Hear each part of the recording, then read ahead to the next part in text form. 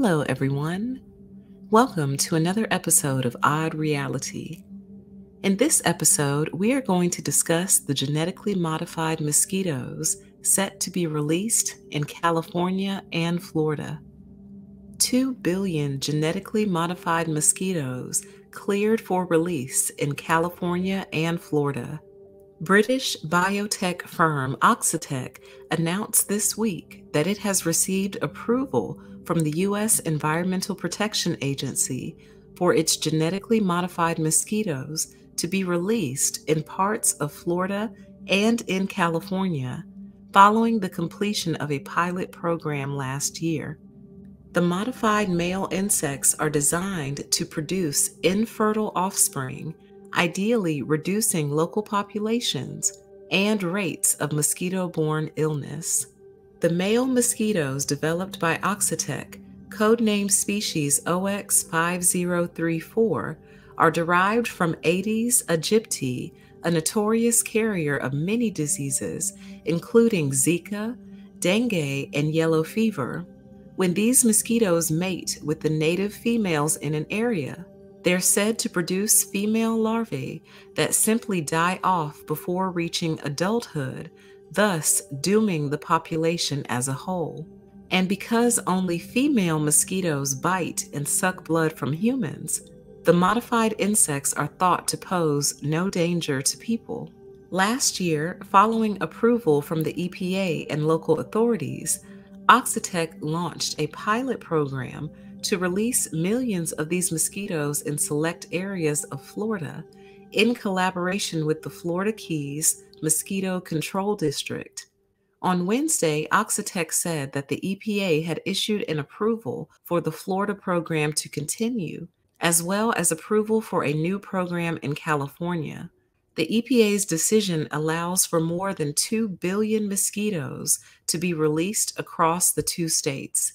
Oxitec's method is the latest example of what's known as the sterile insect technique, which has previously been used to eradicate or reduce populations of other harmful pests, such as screw flies. But the program hasn't come without controversy. Some residents in Florida have long protested the release of the mosquitoes, while some groups have maintained that they could pose unknown environmental or health risks. Others have argued that the EPA and local agencies haven't done enough to ensure the complete transparency of the project. A paper in September 2019 drew lots of attention for claiming to show that a small percentage of the offspring produced by Oxitec's mosquitoes in Brazil had indeed survived and were spreading their genes to the rest of the population. But the paper was soon criticized by other scientists for a lack of compelling evidence supporting these claims and an expression of concern from the journal's editors, laying out many of these alleged flaws. Meanwhile, Oxitec's release data has shown that its programs do significantly reduce the local mosquito population, and Brazil formally approved the use of these mosquitoes in 2020. The EPA continues to state that the release of modified mosquitoes into communities is thought to pose no risk to people, animals, or the environment. Unrelated sterile mosquito programs elsewhere using bacteria, not genes, to render male mosquitoes less fertile have similarly shown success in reducing mosquito populations and rates of diseases like dengue. While the EPA has signed off on Oxitec's programs moving forward, the company will need additional permission from relevant local regulators, which isn't necessarily a given. Despite having received the EPA's go ahead for a program in Texas to start in 2021, for instance, it ultimately didn't happen. So apparently, this experiment has been going on since 2021 in the Florida Keys that pilot program recently concluded, and they just released the results of that program. Let's take a look at those findings. Biotech firm announces results from first U.S. trial of genetically modified mosquitoes. Researchers have completed the first open air study of genetically engineered mosquitoes in the United States. The results, according to the biotechnology firm running the experiment, are positive, but larger tests are still needed to determine whether the insects can achieve the ultimate goal of suppressing a wild population of potentially virus carrying mosquitoes. The experiment has been underway since April 2021 in the Florida Keys, a chain of tropical islands near the southern tip of Florida. Oxitec, which developed the insects, released nearly 5 million engineered Aedes aegypti mosquitoes over the course of seven months and has now almost completed monitoring of the release sites.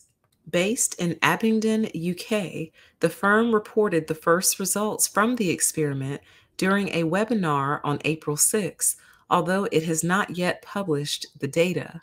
Wild A. aegypti mosquitoes can carry viruses such as chikungunya, dengue, Zika, and yellow fever, so scientists have sought ways to reduce their populations. Oxitec's engineered males carry a gene that is lethal to female offspring. If all goes to plan, when released into the environment, the engineered males will mate with wild females, and their female offspring will die before they can reproduce.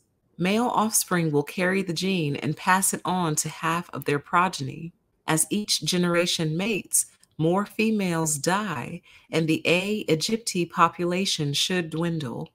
Oxitec researchers collected more than 22,000 eggs from the traps and took them back to their laboratory to hatch under observation. The firm reported that all females that inherited the lethal gene died before reaching adulthood. Furthermore, the team found that the lethal gene persisted in the wild population for two to three months, or about three generations of mosquito offspring, and then disappeared. No mosquitoes carrying the lethal gene were found beyond 400 meters of the release points, even after several generations. Oxitec monitors the sites for 10 weeks after the last lethal gene carrying mosquito is found. The pilot study was not intended to determine how well the method suppresses the wild population. Oxitec plans to gather those data in an extension of the Florida Keys study. It needs approval from state regulators, but hopes to begin soon. The company plans to release mosquitoes at a second study site in Visalia, California, where it's building a research and development facility. So I did shorten that second article just a little bit for the sake of the video, but I will link both articles for you in the comment section down below. Of course, I have many thoughts on this particular topic, but first and foremost, I had no idea mosquitoes could be genetically modified, but I guess anything with genes can be modified. Next, how crazy is it that this certain species of mosquito basically can only produce female offspring that are doomed to die before they reach adulthood? And because only the females bite, when the females die, the mosquito problem essentially goes away. I'm bothered by that on a couple of different levels, but I think I'll save that conversation for a future show on Odyssey. The whole idea seems ingenious, but I have questions. And as the article suggested, some people have concerns. Some of those concerns being the genes from the male species of mosquito surviving and carrying on into the future. What are the future implications of that? And how do you know you've caught every single mosquito and that there are no more lethal mosquitoes out there?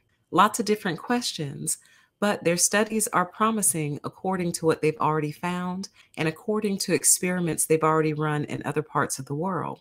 I don't know, but it doesn't sound like a good time to be in California or Florida. What do you guys think of science using nature to battle nature? Leave your thoughts in the comment section down below. And thank you for watching episode six of Odd Reality.